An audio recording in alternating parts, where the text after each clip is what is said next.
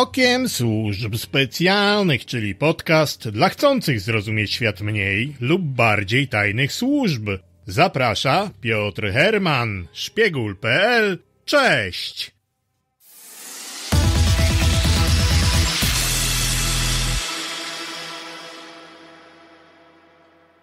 Dziewczyny z POW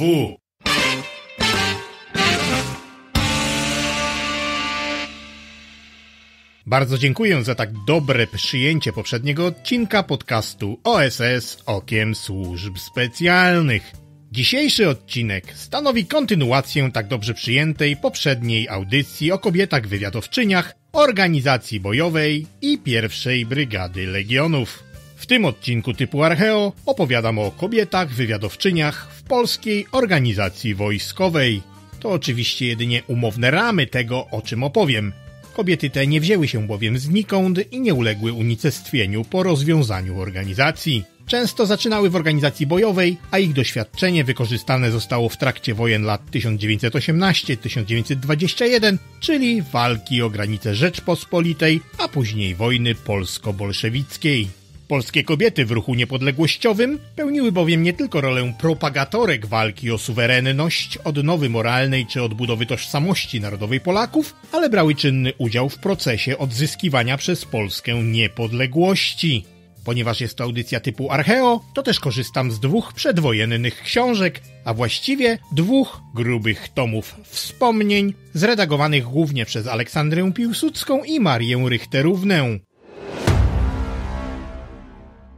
Wierna służba. Wspomnienia uczestniczek walk o niepodległość 1910-1915, wydanej w 1927 roku oraz Służba ojczyźnie. Wspomnienia uczestniczek walk o niepodległość 1915-1918, wydanej w 1929 roku. Od razu ostrzegam, że nie poruszam spraw związanych z politycznymi kwestiami i rozgrywkami przeróżnych osób i organizacji politycznych. Wszelkie oceny pozostawiam historykom i ideologom. Ja mówię jedynie o ludzkich dziejach, w dodatku słowami świadków zdarzeń.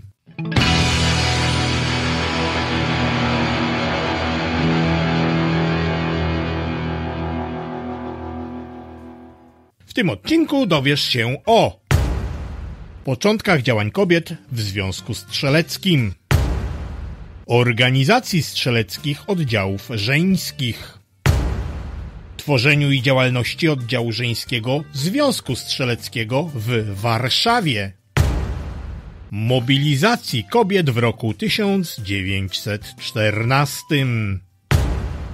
oddziale wywiadowczym Brygady Karpackiej, oddziale żeńskim Polskiej Organizacji Wojskowej, jego organizacji i działalności, lotnym oddziale Wojska Polskiego i lotnym oddziale POW, roli oddziału żeńskiego Polskiej Organizacji Wojskowej, sekcji kolportażu POW i w końcu poczcie listów prywatnych, czyli poczcie konspiracyjnej.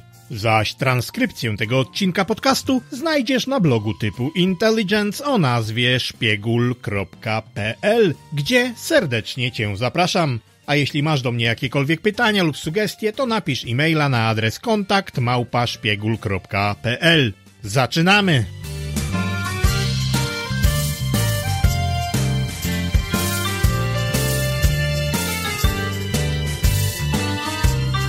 Początki kobiet w Strzelcu.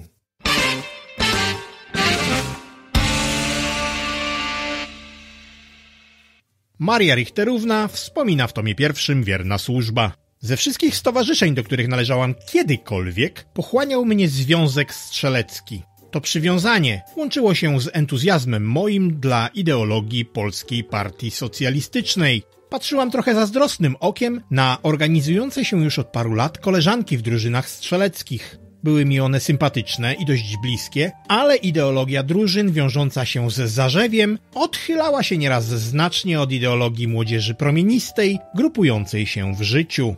Wiosną 1912 roku zaproponowano mi jednak, abym odbyła przeszkolenie w organizującym się kursie przy drużynach strzeleckich i propozycję przyjęłam.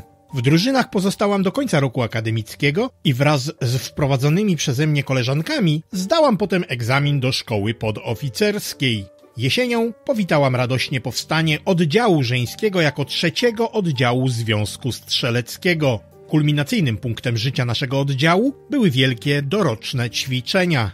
W Zielone Świątki, w czasie ćwiczeń dwudniowych, komendant Piłsudski pozwolił nam przybyć drugiego dnia na miejsce walk.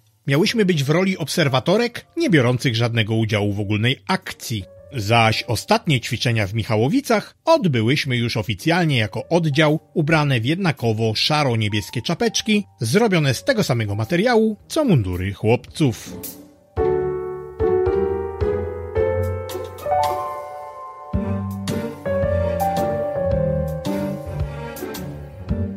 Strzeleckie oddziały żeńskie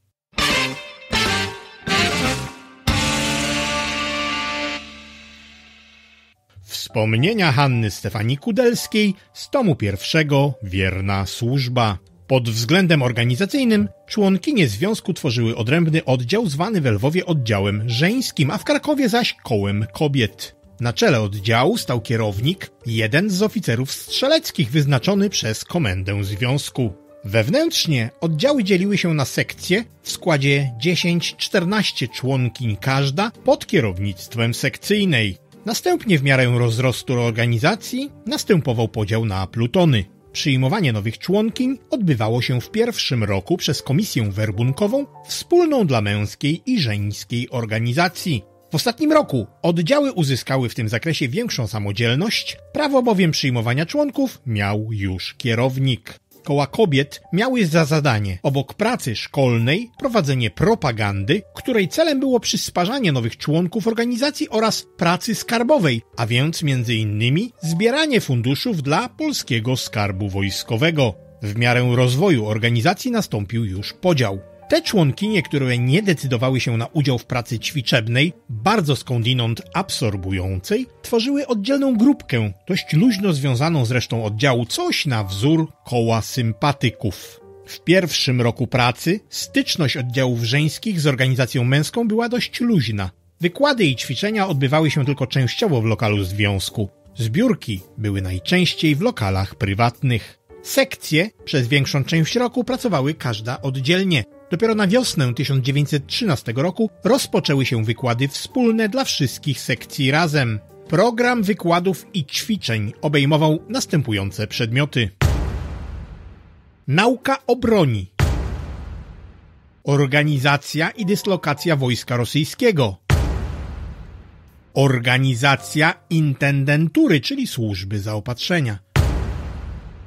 Terenoznawstwo, łączność i służba polowa, materiały wybuchowe i technika dywersyjna oraz taktyka. Ponadto w Lwowie były wykładane geografia i korespondencja wojskowa. Poza tym organizowane były kursy sanitarne, obejmujące ratownictwo i pielęgniarstwo chirurgiczne. W zakresie ćwiczeń była sygnalizacja optyczna, terenoznawstwo praktyczne oraz strzelanie. W Krakowie kilka członkiń na ochotnika pracowało w zbrojowni. Liczebność oddziałów żeńskich przedstawiała się jak następuje. W Lwowie były dwa plutony, z których każdy posiadał trzy sekcje, razem około 64 członkinie. Kraków w styczniu 1913 roku miał trzy sekcje, a w następnym miesiącu powstały dwie nowe sekcje. W maju oddział krakowski liczył już 55 członkiń.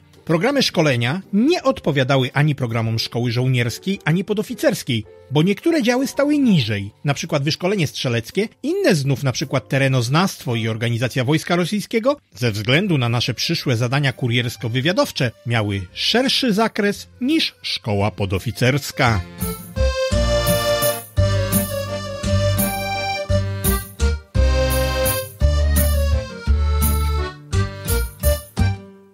Strzelczynie w Warszawie.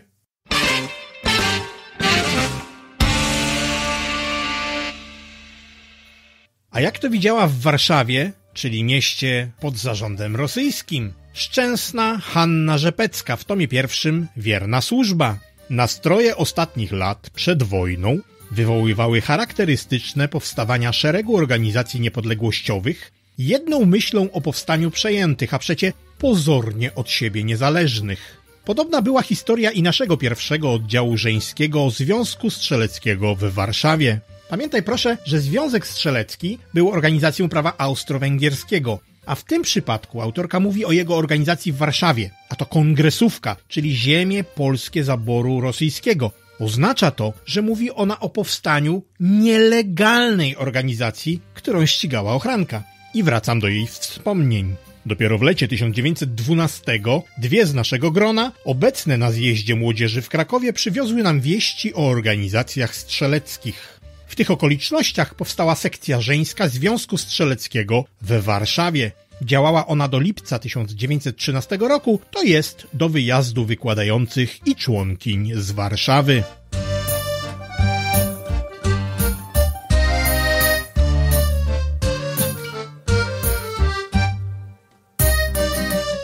Mobilizacja 1914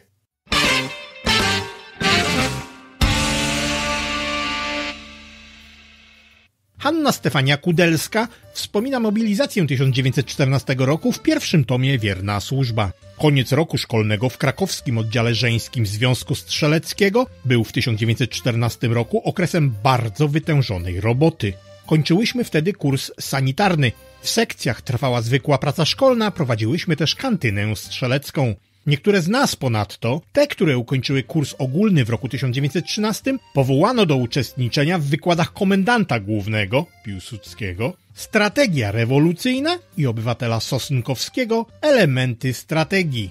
Skończyły się wreszcie i te wykłady. Nadeszły ostatnie dni lipca. Widoczne się stawało, że wojna między Austrią a Serbią staje się nieunikniona i za nią przyjdzie konflikt rosyjsko-austriacki, a zatem przyjdzie, bo przyjść musi wystąpienie strzelca.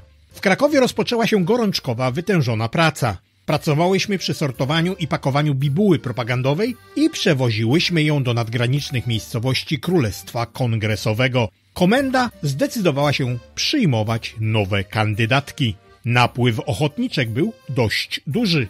Rozkazem władz organizacyjnych otrzymałam pierwszą setkę nowo zwerbowanych niewiast do przeszkolenia. Praca na ogół była ciężka, lecz radosna.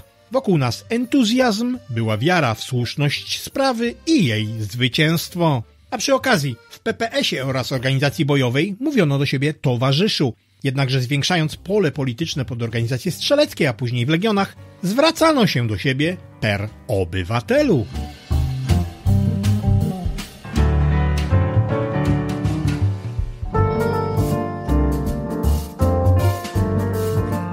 Oddział Wywiadowczy Brygady Karpackiej.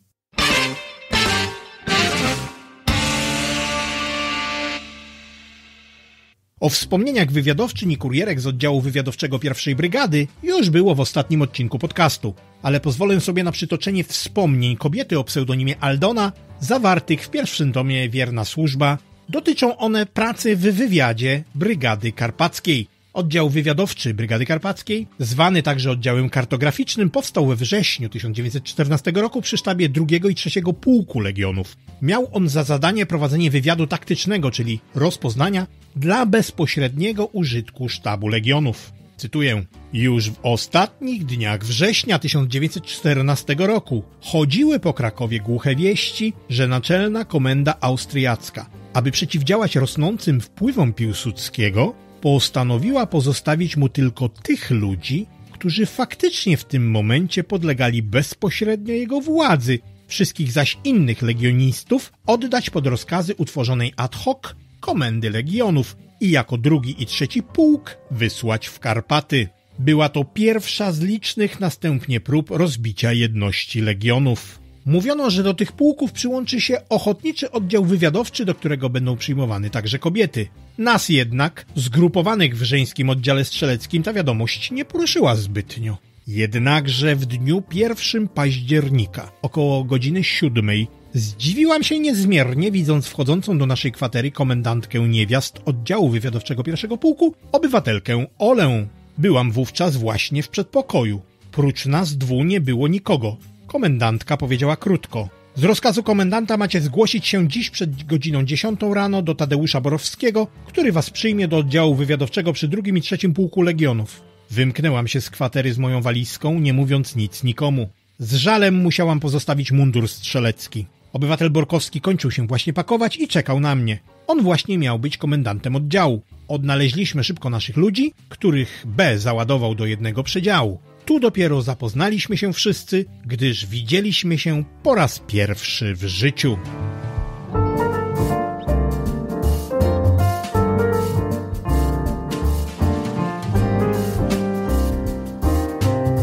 Po rozwiązaniu oddziału wywiadowczego pierwszej brygady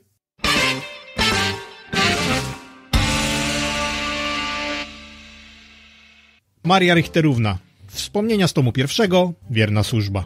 W kwietniu 1915 roku zdecydowane zostało rozwiązanie oddziału wywiadowczego pierwszej brygady. My, któreśmy były w zupełnej dyspozycji oddziału wywiadowczego, żegnałyśmy z żalem jedynie prawie dostępny nam rodzaj służby frontowej. W maju rozproszyłyśmy się wszystkie. Każda brała się do roboty, jakiej się podjąć mogła. Ja wracałam do pracy, która nam, jako kurierką, była dotąd wzbroniona, a na której bardzo nam zależało. Wybrałam Częstochowę. Niby oaza wśród pruskiego morza, trwał tu jeszcze nasz posterunek werbunkowy. Była to zresztą likwidująca się i już przez oficera opuszczona placówka. Praca partyjna, ściśle wiążąca się z werbunkiem, miała tu charakter konspiracyjny. Starałam się pomagać, stawiając pierwsze kroki na polu agitacji. Zajmowałam się kolportażem nielegalnej bibuły.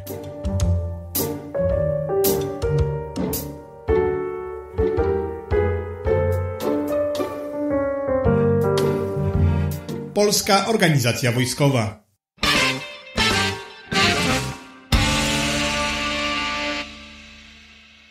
I przechodzę do wspomnień dotyczących POW, czyli Polskiej Organizacji Wojskowej. Oto świadectwo złożone przez Marię Jaksa-Kwiatkowską, pseudonim Ella. Gdy nadeszła chwila dziejowa, gdy w Małopolsce młodzież strzelecka ruszyła w formacjach legionowych w pole, na terenie byłego królestwa stało się koniecznym stworzenie organizacji, która by nie tylko dostarczała wkraczającym oddziałom legionowym wyszkolonych i uzbrojonych uzupełnień, ale która by przede wszystkim wzięła na siebie otrząsanie społeczeństwa z bierności i lojalizmu, uświadamianie najszerszych warstw o roli legionów oraz budzenie przez żywe słowo i wydawnictwa myśli niepodległej. To zadanie miała spełnić powołana rozkazem komendanta Józefa Piłsudskiego jesienią 1914 roku Polska Organizacja Wojskowa powszechnie POW zwana. Konspiracja tak związana z naszymi walkami o niepodległość stała się znów koniecznością. POW, będąc ściśle związana z pierwszą brygadą Legionów Polskich, miała poza tym zadokumentować swoją działalnością, że legiony nie są wytworem jednej tylko dzielnicy Polski, lecz że ogarniają wysiłkiem walki całość dawnych ziem Rzeczypospolitej. Jak z samej nazwy wynika, POW miała charakter wojskowy. Stosunki wewnętrzne regulowane były za pomocą rozkazów przy zachowaniu karności i subordynacji bezwzględnej. Organizacją kierował komendant naczelny przez komendantów okręgowych. Okręgi podzielone były na obwody, posiadające również swych komendantów i komendy miejscowe. Stosownie do celu swojego założenia, działalność POW obejmowała przede wszystkim dziedzinę pracy wojskowej, zatem przygotowywano w odpowiednich szkołach materiał żołnierski, podoficerski i oficerski. Do celów wywiadowczych zorganizowano specjalny oddział odsyłający swe meldunki przez front za pośrednictwem kurierek do sztabu pierwszej brygady legionów. Zadania dywersyjne, polegające na niszczeniu obiektów i składów wojskowych oraz utrudnianiu działań wojska rosyjskiego na jego tyłach, wypełniał tzw. Tak oddział lotny wojsk polskich, podporządkowany bezpośrednio władzy komendanta naczelnego POW. Wreszcie komisja wydawnicza, oprócz pisma periodycznego podchorąży i szeregu regulaminów, instrukcji i podręczników dla szkół wojskowych, wydawała w aktualnych sprawach odezwy, ulotki oraz umieszczała w pismach okolicznościowe artykuły polityczne.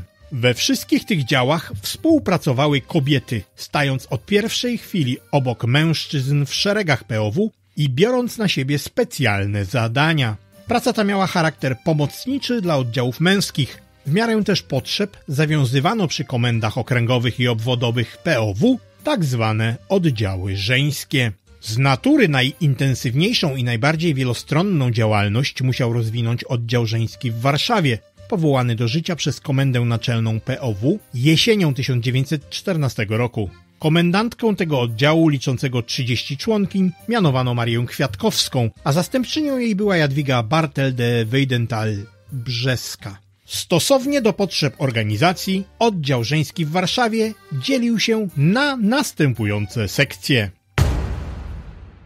Wywiadowczą, której zadaniem było robienie wywiadów wojskowych i politycznych w samej Warszawie oraz na prowincji. Pracą tej sekcji kierowała Jadwiga Bartel de Weidenthal. Kolporterską, która rozpowszechniała nielegalne wydawnictwa niepodległościowe wśród społeczeństwa i żołnierzy Polaków w wojsku rosyjskim. Intendentury, dostarczającej ubrań, bielizny, ekwipunku i mieszkań oraz mającej opiekę nad kurierami z tamtej linii frontu, a także członkami POW. Sanitarną, której członkinie po ukończeniu kursów fachowych pracowały w szpitalach wojskowych, gdzie miały dostęp do żołnierzy Polaków i możliwość dostarczania cennych wiadomości wojskowych. Poza tym zorganizowany przy Komendzie Naczelnej POW skład broni i amunicji był również niejako pod opieką oddziału żeńskiego. Wskutek wyjątkowych konspiracyjnych warunków pracy nie pozostało prawie żadnych archiwalnych śladów i dokumentów obrazujących pracę oddziału żeńskiego POW.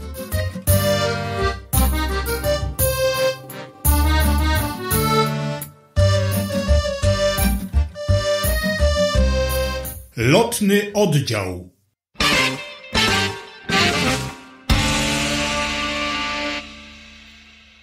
Czym był oddział lotny? Piłsudski był socjalistą, co oznacza, że znał rozwiązania różnych partii rewolucyjnych, przede wszystkim rosyjskich. Nie pojawiła się znikąd organizacja bojowa. Wszak ta była realizacją terroru przez partię eserowców, a dowodził nią sam Jewno Azew, od którego rozpoczął się ten podcast. Również organizacja piątek bojowych trafiła do organizacji bojowej PPS przez eserowską organizację bojową. Dopiero praktyka dnia codziennego, a w zasadzie wywiadowczego, doprowadziła do ich przekształcenia w szóstki. POW była rozwinięciem organizacji bojowej w kierunku siły zbrojnej, ale lotny oddział też został wzięty od rosyjskich eserowców. Istniał wszak północny lotny oddział bojowy zwany też grupą Karla. A POW powołała swój lotny oddział utworzony na bazie doświadczeń oraz byłych członków organizacji bojowej PPS. Oto co o nim wspomina Halina Hełmicka w tomie pierwszym Wierna służba. Będąc najbardziej utajnionym działem konspiracyjnym pracy wojskowej, oddział lotny Wojska Polskiego pozostawił bardzo niewiele materiałów. Wszystkie raporty, rozkazy, plany z niewielkim wyjątkiem niszczono w programie organizacji wojskowych tworzonych przed wojną przez Józefa Piłsudskiego przewidywane było działanie dywersyjne na tyłach wojska nieprzyjacielskiego. Pomimo wybuchu wojny w kongresówce, czekano z rozpoczęciem ruchu na rozkaz komendanta, prowadząc tymczasem prace przygotowawcze, jak zgromadzenie materiałów wybuchowych, przeprowadzanie wywiadów i rozpatrywanie się w stosunkach i ludziach nadających się do wciągnięcia do przyszłej akcji. Na odprawie dnia 30 września formalnie zawiązano wydzielony oddział pierwszej brygady, zwany oddziałem lotnym wojsk polskich. W pierwszym okresie, to jest przez dwa i pół miesiąca istnienia oddziału, udział bezpośredni w jego pracach brało zaledwie około 10 osób. Coraz to liczniej zaczęły zgłaszać się jednostki rządne natychmiastowego czynu. W końcu lutego 1915 roku oddział lotny wojsk polskich rozwiązano, zaś poszczególnie jego członkowie zostali wyznaczeni na organizatorów i komendantów okręgów oddziałów lotnych Polskiej Organizacji Wojskowej oraz weszli w skład Centralnego Oddziału Lotnego POW. Już w marcu rozpoczęły pracę cztery okręgowe oddziały lotne warszawski, lubelski, siedlecki i radomski, grupując w swych szeregach kilkudziesięciu członków. Działalność oddziału lotnego w obu formacjach jego istnienia, streszczająca się w rezultacie w szeregu zbrojnych zamachów, wysadzanie mostów kolejowych, niszczenie torów, zrywanie drutów telegraficznych, zamachy na państwowe urzędy rosyjskie, niszczenie list poborowych i tym podobne, z punktu widzenia czysto wojskowego nie była czynnikiem bardzo ważkim wśród zmagania się wojennego walczących państw. Jednak duże jest moralne znaczenie oddziału lotnego. W oczach najeźdźcy oddział lotny był krwawym upiorem, który groził wybuchem powstania na tyłach wojska w kraju, jak się zdawało już ujarzmionym i dawno upokorzonym. A dla członków swych oddział lotny był radosną ostoją i ważną placówką. Nikt nie skorzystał z przysługującego najbardziej wycieńczonym prawa do opuszczenia szeregów oddziału i przedarcia się do legionów. Wszyscy wytrwali na posterunku. Jeszcze przed formalnym zawiązaniem oddziału lotnego kilka kobiet bierze udział w przygotowaniach tej grupy spiskujących. Przewożą dynamit z Łodzi do Warszawy, współdziałają przy wydobywaniu broni i materiałów wybuchowych. Po ukonstytuowaniu się oddziału lotnego więcej kobiet wciągnięto do tej pracy. Bezpośrednio w działaniach zbrojnych, poza nielicznymi wyjątkami, kobiety nie uczestniczyły. Wykonywały natomiast dużo czynności pomocniczych, bez których działalność oddziału lotnego nie mogłaby się rozwinąć. Do obowiązków naszych należało przewożenie i ukrywanie materiałów wybuchowych i broni, wyszukiwanie mieszkań na składy i zebrania, schronienie dla członków oddziału, przygotowywanie stosunków w różnych miejscowościach, gdzie miała być przeprowadzona akcja, służba wywiadowcza kurierska, sanitarna, praca w laboratorium.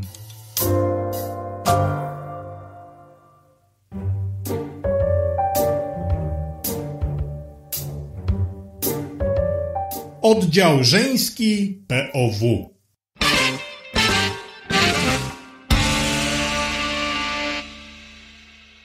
Jadwiga Bartel de Weidenthal i Helena Statlerówna wspominają w tomie drugim Służba ojczyźnie.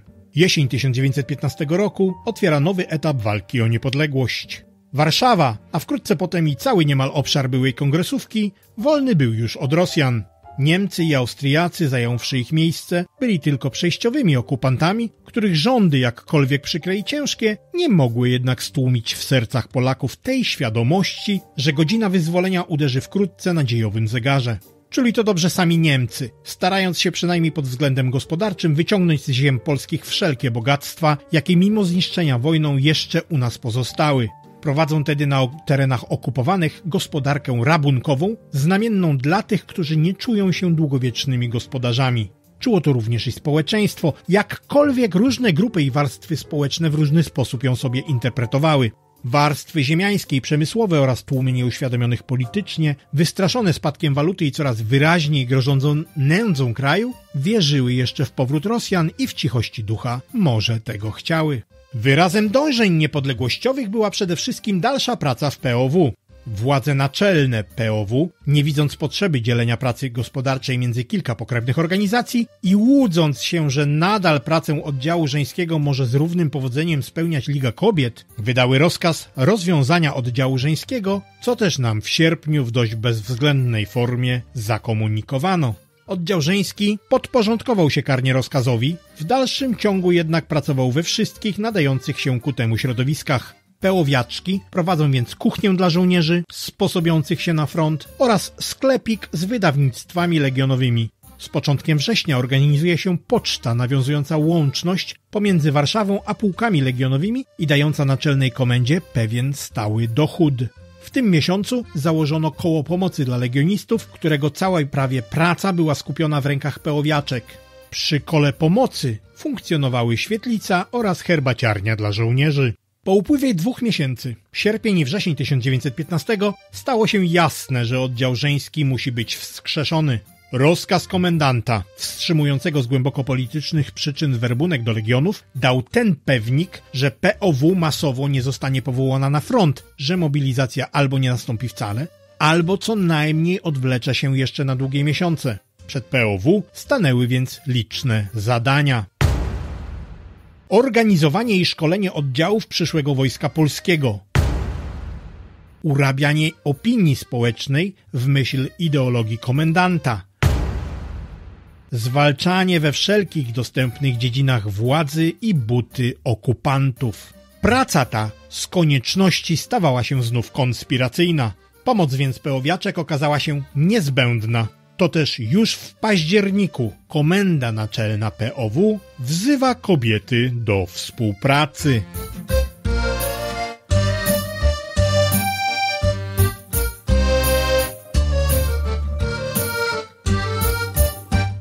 Sekcja kolportażu.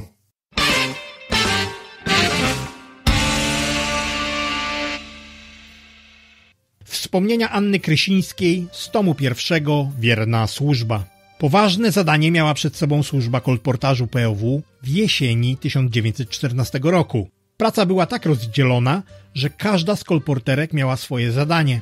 Łącznikiem naszej sekcji z redakcjami była obywatelka Jadwiga Marcinowska, znana powieściopisarka i publicystka. Przy wydawnictwach POW szczególnie jej pomoc w drukarniach była nieoceniona. Bibułę nielegalną dostarczano do kilku głównych składów, a dalej należało jej nadać bieg właściwy, to jest skierować do składów pomocniczych i rozdać kolporterkom. Składów bibuły miałyśmy dość dużo i bardzo dobrze zakonspirowanych, Stamtąd rozchodziły się pisma na okręgi. Kurierki wyjeżdżające na prowincję brały bibułę ze składów, kolporterki otrzymywały ją w biurze. Nawet najwprawniejsze szpiegowskie oko nie mogło doszukać się w tych młodych panienkach niebezpiecznych konspiratorek.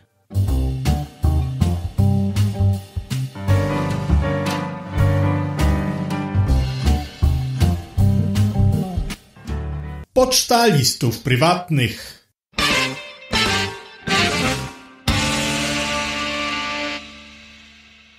Maria Richterówna wspomina w tomie drugim służba ojczyźnie. Poczta listów prywatnych, czyli tak zwana początkowo nasza poczta, kojarzy się z miłym wspomnieniem pracy pożytecznej, a zarazem zainicjowanej i wykonanej wyłącznie przez nas same. Było to tym dla nas ważniejsze, że czas powstawania poczty wypadł właśnie w epoce przymusowego bezrobocia, to jest stanu zawieszenia oddziału żeńskiego POW. Projekt ten wywołała potrzeba chwili. Niemcy, chcąc utrudnić kontakt stolicy z resztą okupowanej Polski, wprowadzili przeszkody w komunikacji kolejowej oraz zabronili kategorycznie wymiany korespondencji z okupacją austriacką. Najbardziej dotkliwe było jednak zarządzenie przecinające łączność Warszawy z oddziałami legionowymi i godzące głównie w batalion warszawski, który właśnie wyruszył na front. Przyznam się, że te zakazy nie dawały mi spokoju i przez parę tygodni myślałam, w jaki sposób można by je udaremnić. Sposób był tylko jeden. Nawiązać zerwaną łączność własnymi siłami, to jest stworzyć prowizorium poczty. Projekty te niestety nie spotkały zbyt dobrego przyjęcia u naszych władz. Wróżono nam rychłą wsypę i na ogół nie radzono brać się do tej pracy. Nie zrażałam się tym jednak wcale, sądząc, że bardziej przekonywująca niż słowa będzie nasza praca, jeśli ją potrafimy dobrze zorganizować i wykonać. Okoliczności nam sprzyjały. Bez trudności oczywiście udało nam się zebrać grono peowiaczek zgłaszających się chętnie na służbę listonoszów. Równocześnie z organizowaniem poczty na terenie Warszawy przystąpiłyśmy do budowania sieci pocztowej, Miało to na celu dostarczenie nam listów z prowincji i, co ważniejsze, zapewnić miało przyjmowanym przez nas listom w stacji odbiorczej pewne drogi wysyłkowe. Trzeba było więc przedsiębrać kilka podróży. Punkty wytyczne były Piotrków i Radom jako stacje węzłowe dla okupacji austriackiej, Łomża z drogą ku Wilnu i może ku Rosji oraz Kraków. Wiosna sprowadziła zmianę zasadniczą. Istniała już wówczas dobrze prosperująca poczta organizacyjna. Niedługo później, specjalnym rozkazem komendy, weszłyśmy w skład komendy poczt i otrzymałyśmy nazwę Poczta Listów Prywatnych. Mnie zaś uhonorowano godnością komendantki. Od tej chwili dochody nasze oddawane były kasie pocztowej. Skala pobieranych przez nas opłat, aczkolwiek wyższa od normalnej, nie była jednak duża.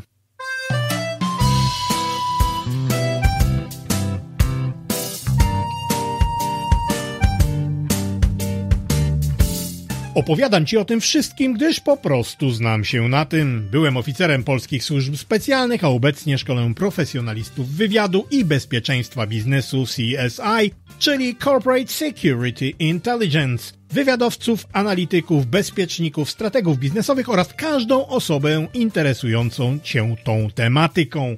I niezmiennie pozostaję na stanowisku, iż praca służb i ich agentur nie zmienia się z upływem lat przeciwieństwie do cały czas ulepszanej technologii oraz taktyki działań.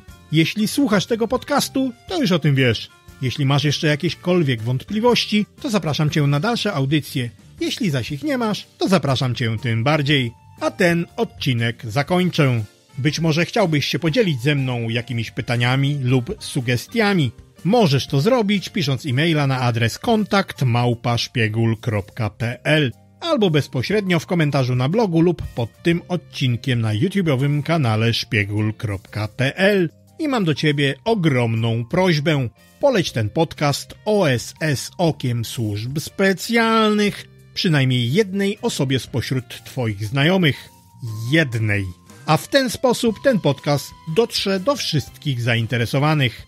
Jeśli zaś nie chcesz przegapić nic z tego, o czym opowiadam na temat służb mniej lub bardziej tajnych, to zasubskrybuj newsletter na stronie szpiegul.pl. Otrzymasz wówczas darmowego e-booka mojego autorstwa. I zapraszam Cię serdecznie na blog. Jest to bowiem centralne miejsce całej mojej aktywności dla Ciebie, a także na wszystkie miejsca okołoblogowe Facebooka, Instagram i LinkedIn. Wszystkie namiary znajdziesz na przykład na YouTube'owym kanale szpiegul.pl pod tym odcinkiem podcastu albo na blogu. Do usłyszenia! Szpiegul.pl Okiem służb specjalnych. Cześć!